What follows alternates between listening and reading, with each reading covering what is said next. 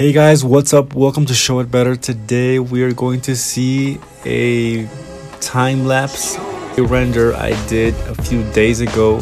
So basically, I modeled a building. It was, it was a quick building, just a facade.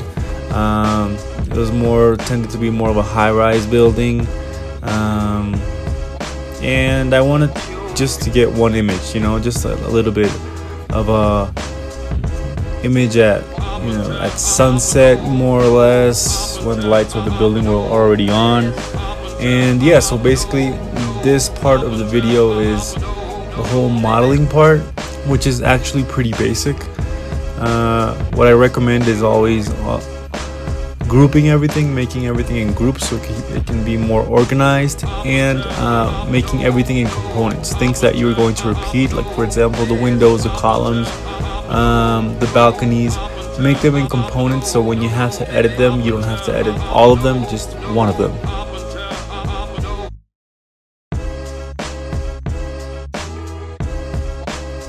Also uh, don't remember to do render tests so you got you can see where you're going with this if if because maybe in the render it looks completely different. And yeah so just remember to always always uh, do render tests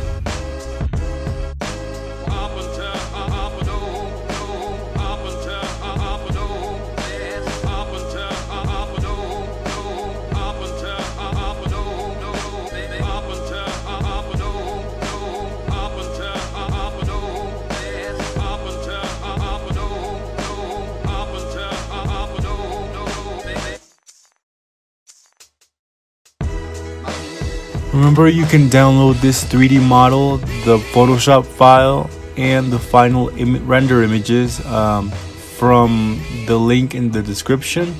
Um, there you guys can follow along with the tutorial. And you know you can also help this channel out uh, making more videos. As you guys can see I also added an HDRI dome light so what you do with this is you go to the dome light and in the settings you just put your the, your the HDRI you want. So in this case I put an HD, HDRI that had more of a sunset feeling to it. So in this so in this package I also include the HDRI if you guys want to to use it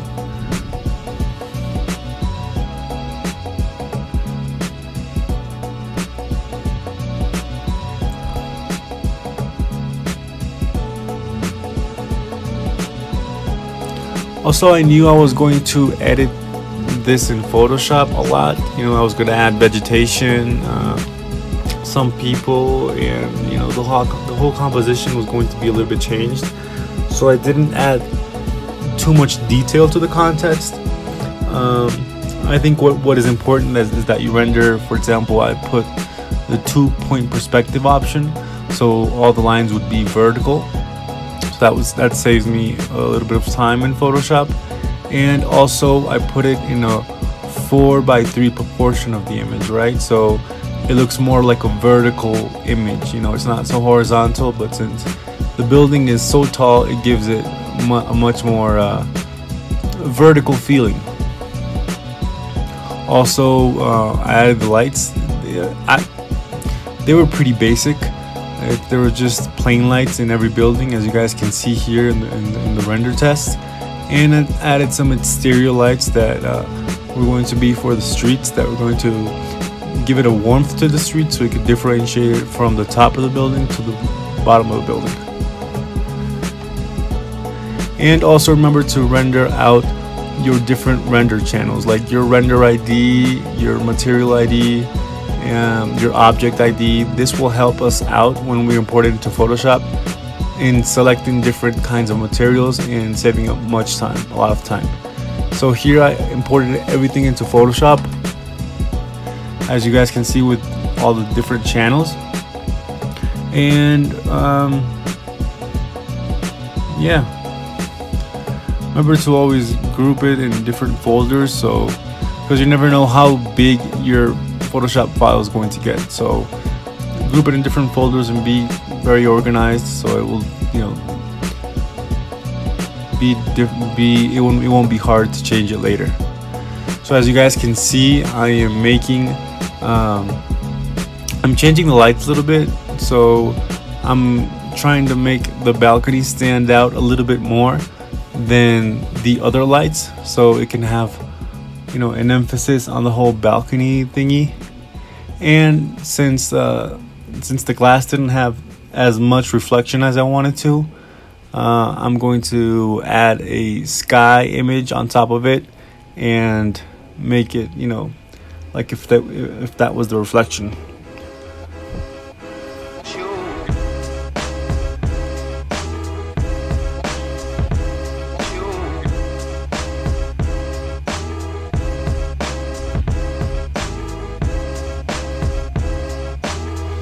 As you guys can see, some of my images, I'm just looking at them from uh, from Google. So remember, Google is always a great source for downloading your images. Here, I'm trying to import some textures of night buildings, um, so they would look like more. It has like more stuff inside, more or less. Um, this is this is always a trial and error, you know sometimes sometimes it works out sometimes it doesn't and you have to work out something different. So it's not i can tell you that this is not always a very linear process. It's not always the same steps the same things to do. Sometimes it is really a trial and error. You have to you have to try some things and sometimes they're just not going to work out. Um, and it's okay. It's part of the whole process. I mean i'm not really a professional architectural visualizer, but I know for a fact because I've worked with many that many of the processes are like these, you know. You just have to try and see and and that is how that is how you will learn by trying.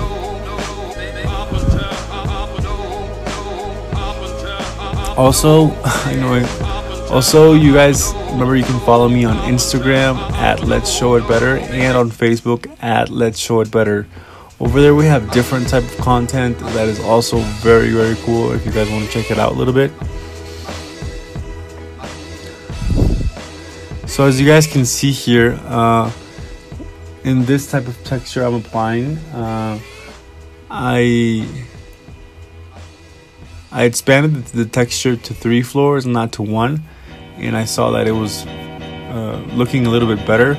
So the ones that I did before, I erased them and did them again, as in the other method, right?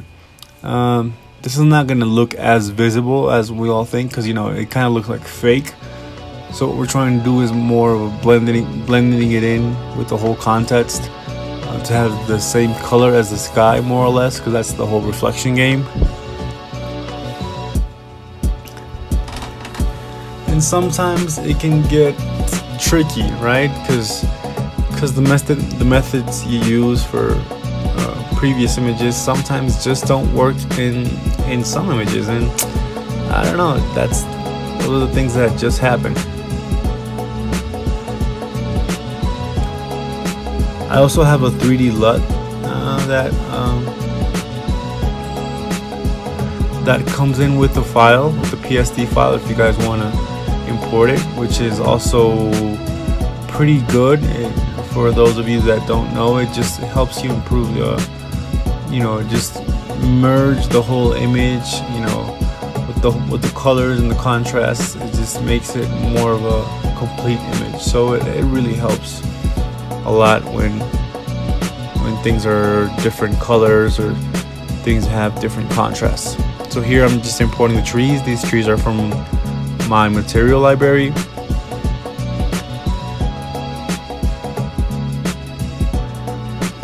Because what, what I basically want to do here is just add a a foreground and a middle plane so it can give an image the image a lot more depth right so if I put some trees some big trees in the front in the front corners of the image and then I put another trees in the middle middle ground, it will give it a certain transition from the viewer to the whole building, right? It won't look as flat.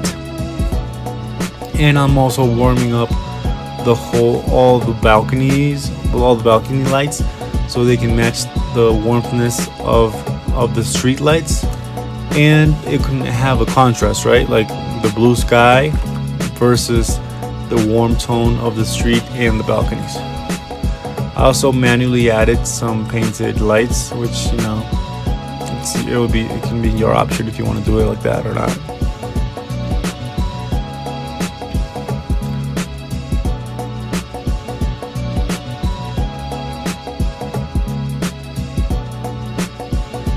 So in this case, the, the people I added were just with the brushes because they were gonna look dark anyways. But well, it's your option. You can do it also uh, with with with pictures of people as well. And here I'm adding some street lights just to to finish off this thing. And the the camera raw filter is always very important, so you can add a little bit more detail and adjust the colors just how, how you want them to. It's a very cool tool and it's very versatile. So sometimes after I, I put the camera raw filter, I leave it as it is, or sometimes I add it to VSCO, the photo editing program, because it just sometimes has has some filters that give it that final touch. Uh, so yeah that's how the image looked i hope you guys enjoyed this video and see you guys in the next one